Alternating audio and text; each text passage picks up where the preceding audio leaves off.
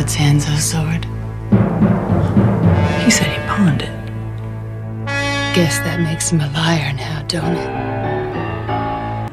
What did you say to Pai Mei to make him snatch out your eye?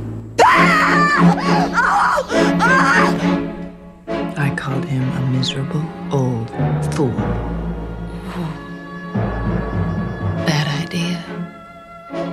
Know what I did? I killed that miserable old fool. And now I'm gonna kill you too. With your own sword, no less. Which in the very immediate future will become my sword. Bitch. You don't have